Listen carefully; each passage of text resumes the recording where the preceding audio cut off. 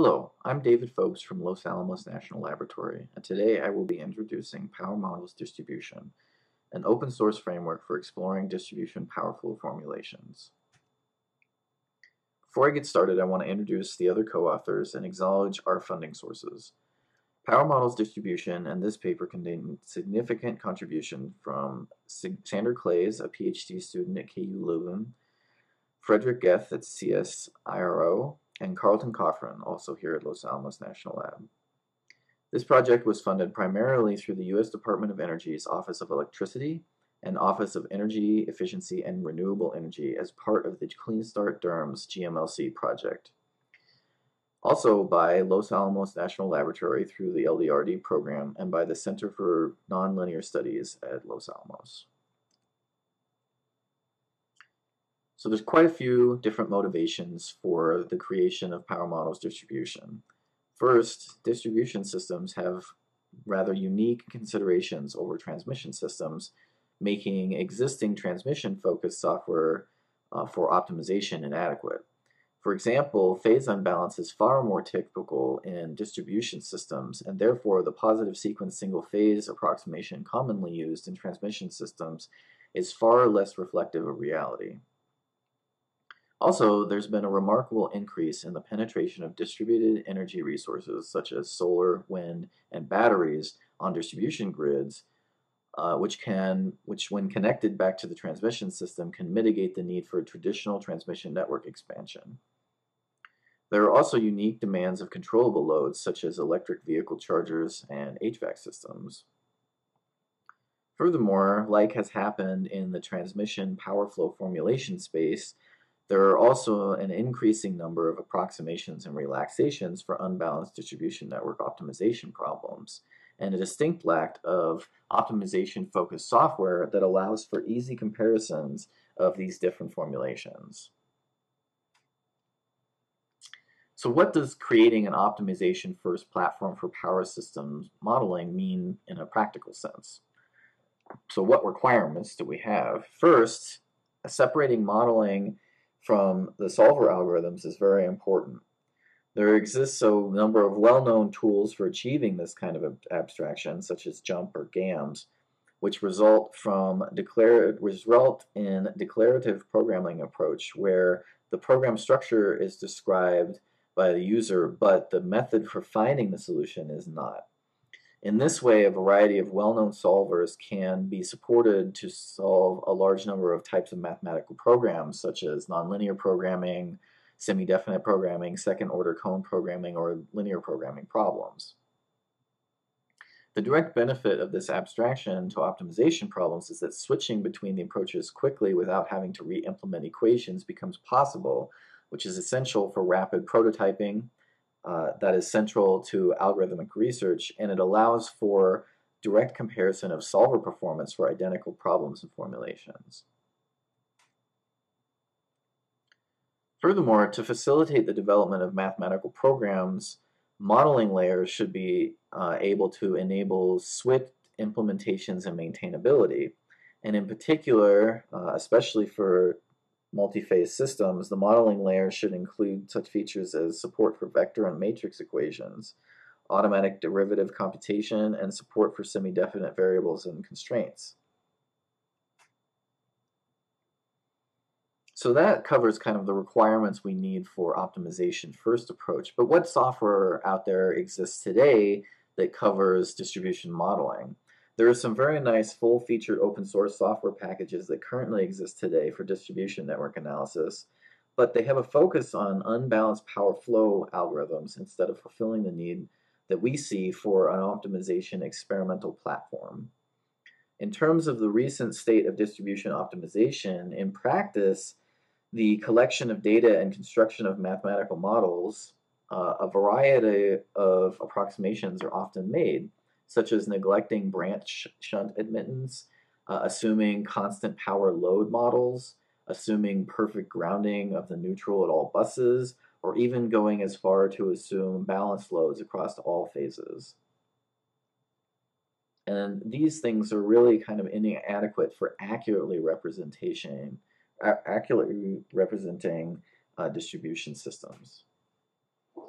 A few years ago, Power Models, a transmission network focused optimization library, was introduced to, that followed this pattern of model abstraction. To achieve this, Power Models is written in Julia and utilizes JuMP as the model abstraction layer to decouple the solvers from the problems and formulations. Power Models also decouples the problem types, like optimal power flow or optimal transmission switching, from the mathematical power flow formulations including AC polar or second order cone relaxations. Finally, Power Models was written keeping in mind modern software engineering practices in such a way as to make it easily extensible, which is evidenced by the growing number of extension packages, just a couple of which I list here. And so this is the model that we followed when we created Power Models distribution. So in response to the needs for an optimization-focused tool for distribution, and following the example of power models, we built power models distribution focused primarily around exploring unbalanced power network optimization problems such as optimal power flow, OPF with on, on-load tap changing, and others. As a small side note, we do include power flows, a power flow solver, but because it uses the same interface as the optimization problem, it is much more inefficient compared to dedicated power flow algorithms. As with Power Models, Power Models distribution is open source, written in Julia and using JuMP. It leverages internal functions and data models established by Power Models so that we didn't have to invent, reinvent the wheel for every aspect. And where possible, we even reuse some variables and constraints for phase agnostic components. For our data inputs, we have chosen to support the OpenDSS file specification. But it's important to note here that we do not intend to replicate OpenDSS functionality, but only to uh, leverage its mature data format to build network cases and act as uh, a tool that goes alongside uh, OpenDSS that adds to it. Under the hood, in Power Models, we try to take a generic approach to modeling to avoid edge cases. For example, in the cases of in the case of branches, the physics of power flow under phase unbalance are described in the framework of Kirchhoff's circuit laws, where equations are linear in current and voltage for fixed impedances. For the coupling of neighboring conductors, the impedance becomes a matrix that includes self-impedance, the diagonals, and mutual impedance, the off-diagonals, where the size of the matrix depends on the context. For example, a Kron-reduced four-wire network would be 3 by 3, networks with explicit neutral conductors 4x4, and we can even see 5x5 matrices where earth voltage rises are included. In Power Models distribution, the branch model formulations are standardized on multi-conductor pi sections, which support full matrices for both series and shunt elements, and even allow admittance shunts on the from and to sides to be different, which enables gamma sections. In terms of uh, data models for different components, Power Models distribution leverages the internal mathematical models of Power Models for consistency, but distribution components are much more varied and complex than the standard set of transmission components, and therefore in many cases distribution components need to be decomposed into a series of more simple mathematical objects. Here's an example of a flowchart that we use to uh, decompose commonly seen distribution com components that you can see in green into mathematical data objects in blue. For a more detailed introduction of the different models of components supported in Power Models distribution, uh, either refer to the paper or to the online documentation. One component, though, that I'd like to highlight in particular is multi-phase transformers, which can have many different settings in multi-phase networks. They can have delta, Y, or zigzag configurations, two or more windings, and significant no-load losses, which makes them difficult to model straightforwardly. Therefore, we have included a decomposition model where we break down multi-phase transformers, uh, n-winding multi-phase transformers into ideal two-winding lossless transformers and build a loss model from impedance branches uh, to account for the no-load losses. So on this slide, we show an example of a three-winding transformer with uh, delta configurations and a zigzag configuration that are uh, decomposed down into these ideal transformers and loss model. In terms of the power flow formulations already included in power models distribution, uh, we have a nice set of formulations that include several nonlinear formulations, semi-definite and second-order cone relaxations, and several linear approximations, as you can see here in this table. These formulations cover several different categories, but the bus injection model and the branch flow model. Uh, multiple variable spaces, such as current voltage and power voltage, and multiple coordinate spaces, like polar or rectangular coordinates. We've also strived to make sure the user experience for Power Models distribution is as simple as can be expected for an optimization-focused tool.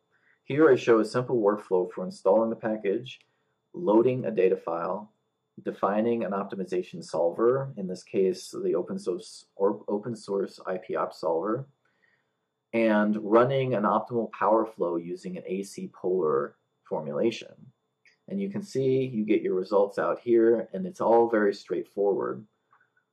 On the right, I show how we define an OPF problem to illustrate how easy it is to define your own problem specification, where you can basically compose your problem specification by uh, looking at adding different variables and adding constraints in a straightforward fashion and adding an objective at the end. In order to validate our mathematical models, we perform comparisons of the AC power flow between power models distribution and OpenDSS on several IEEE test cases. And we showed that the voltage deltas across these networks between, so that the comparison between the OpenDSS values and our voltage values on each uh, bus, uh, we show those voltages differences to be small, less than 1E7 for each of the cases, as you can see in this table, in this central table here. We also compare uh, performed some comparisons of several of the formulations uh, on a selection of the IEEE cases, demonstrating the performance of the different formulations in context. So here we show a comparison between AC polar and AC rectangular. You can see the, the, the results of the objective results are the same across uh, those two formulations. We also compare SDP and SOC formulations and you can see the time performance and the gap percentages of each of those for the different test cases. And refer back to the paper for a more detailed discussion. As for the future of Power Models distribution, development is still very active. We recently released a new version that contains a data model abstraction uh, that introduces a user-facing model that more closely matches engineering realities of the system and pushes the decomposition I discussed to a lower layer. We are now actively working on adding support for explicit representations of neutral and ground conductors, which will entail directly modeling one and two-phase components, and we will be adding that in our next major version. We have also had requests from the user community for many different features, uh, including harmonics analysis, short circuit calculations, and problem-specific solvers. So in conclusion, we have developed a free open source toolchain for the optimization of distribution network power flows, which com complements existing tools by providing an optimization first approach. We have demonstrated using PowerFlow uh, the validity of our physical models on a variety of unbalanced IEEE test feeders, and we have included a robust OpenDSS parser written natively in Julia to ingest distribution test case data. And as a final point, I just want to mention that we think that our work here has highlighted a dire need for a library of unbalanced OPF benchmark cases similar to the PGLib ACO, AC OPF benchmarks. Thank you for your attention.